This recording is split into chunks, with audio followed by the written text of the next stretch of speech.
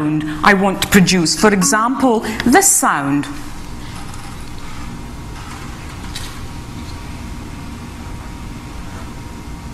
Can you hear anything? Exactly, because I'm not even touching it. but yet, we get the sensation of something happening. In the same way that when I see tree moves, then I imagine that tree making a rustling sound.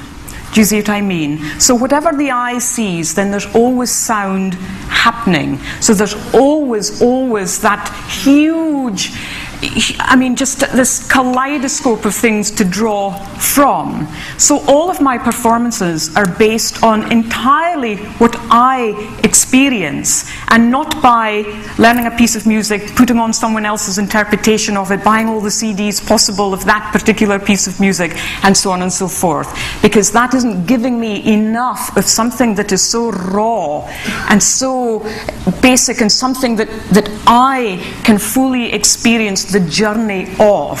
So it may be that in certain halls, this dynamic may well work.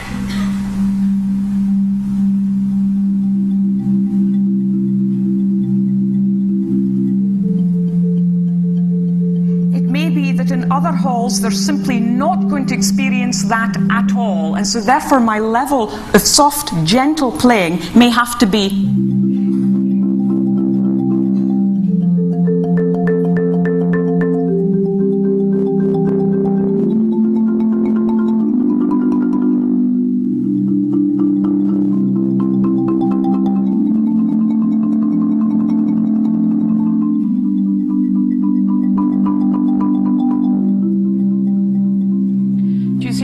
So, because of this explosion in access to sound, especially through the deaf community, this has not only affected how music institutions, how schools for the deaf treat sound, and not just as a means of therapy, although, of course, being a participator of music, that definitely is the case as well. But it's meant that acousticians have had to really think about the types of halls they put together. There are so few halls in this world that actually are have, have very good acoustics, dare I say. By, by that I mean where you can absolutely do anything you imagine, the, the tiniest, softest, softest sound to something that is so broad, so huge, so incredible. There's always something. It may sound good up there, may not be so good there, may be great there, but terrible up there, maybe terrible over there, but not too bad there, etc., etc. So to find an actual hall is incredible for which you can play exactly what you imagine without it being cosmetically enhanced. And so, therefore, acousticians are actually in conversation with people who are hearing impaired and who are participators of sound. And this is, this is quite interesting. I, I cannot you know, give you um, any detail as far as, well, what is actually happening with those halls. But it's just the fact that they are going to a group of people for whom so many years, for which so many years we've been saying, well, how on earth can they, can they experience music? You know, they're deaf. They're, we just, we go like that and we imagine that's what deafness is about. Or we go like that and we imagine that's what blindness is about.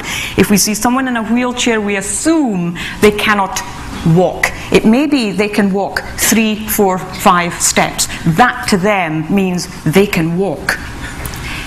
In a year's time, it could be two extra steps. In another year's time, three extra steps. Those are hugely important aspects to think about.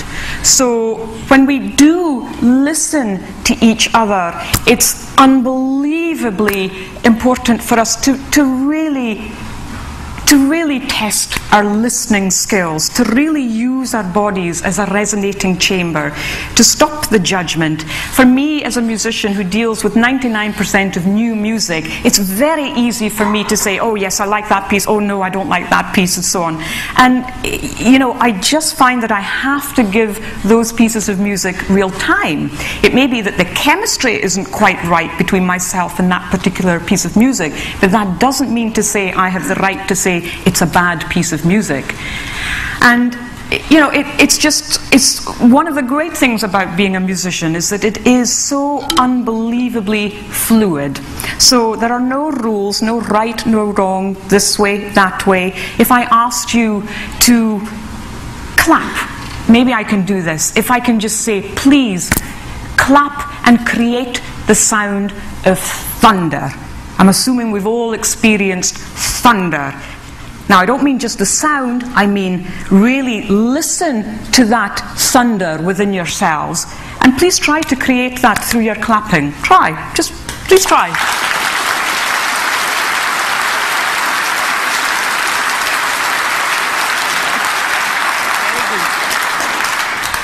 Snow. Snow. Have you ever heard snow? No. Well then, stop clapping. Try again. Try again. Snow. One finger, guys. See, you're awake. Rain. Two fingers. Not bad. Not bad. You know, the, the interesting thing here, though, is that I asked a group of kids not so long ago exactly the same question. Now, great imagination, thank you very much. However, not one of you got out of your seats to think, right, how can I clap? Okay, maybe Maybe I can use my jewelry to create extra sounds. Maybe I can use the other parts of my body to create extra sounds.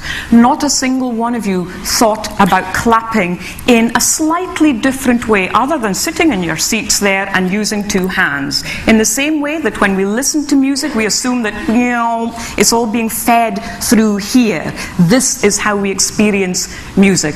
Of course, it's not.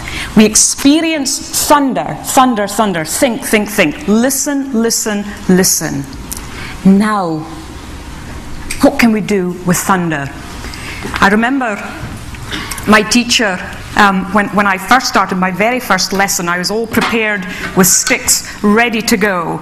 And instead of him saying, okay, Evelyn, please, you know, feet slightly apart, arms at a more or less 90 degree angle, sticks in a more or less V shape, keep, keep this amount of space here, etc. Please keep, keep your back straight, etc., etc., etc. Whereas just probably going to end up absolutely rigid, frozen, and I would not be able to strike the drum because I was thinking of so many other things. He said, Evelyn, take this drum away for, for seven days, and I'll see you next week. So, heavens, what was I to do? I, I, I no longer required the sticks. I, I wasn't allowed to have these sticks. I had to basically look at this particular drum, see how it was made, what these little lugs did, what the snares did, turned it upside down, experimented with the shell, experimented with the head, experimented with my body, experimented with jewelry, experimented with all sorts of things.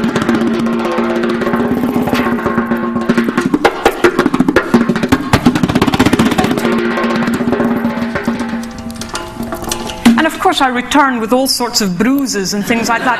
But nevertheless, you know, it was such an unbelievable experience because then, where on earth are you going to experience that in a piece of music?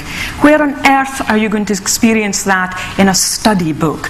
So we never ever dealt with actual study books. So, for example, one of the things that we learn when we are dealing with um, uh, being a, a percussion player as opposed to a musician is basically straightforward single stroke rolls. Like that. And then we get a little faster. And a little faster. A little faster. And so on and so forth. What does this piece require? Single stroke rolls.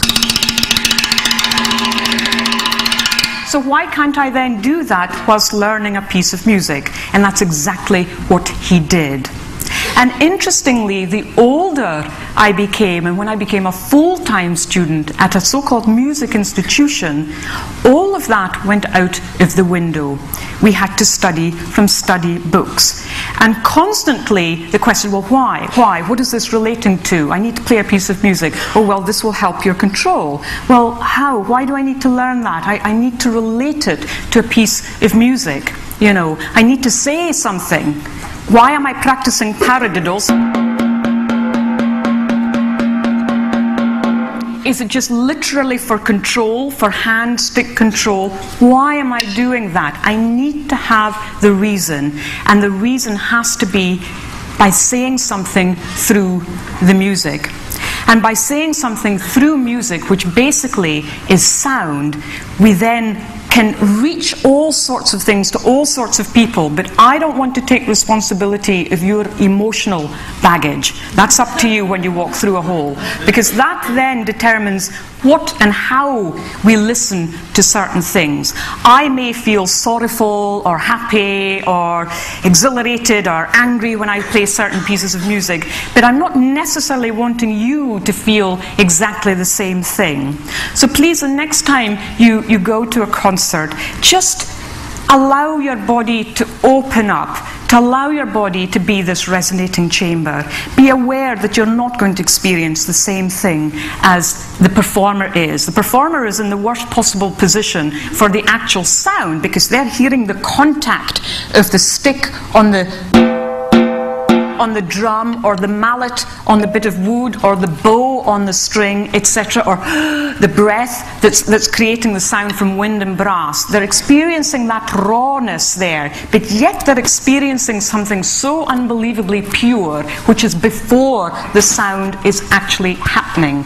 Please take note of the life of the sound after the actual initial strike or breath is being pulled just experience the whole journey of that sound in the same way that I wished I'd experienced the whole journey of this particular conference rather than just arriving last night. Um, but I hope maybe we can share one or two things as the day progresses. But um, thank you very much for having me.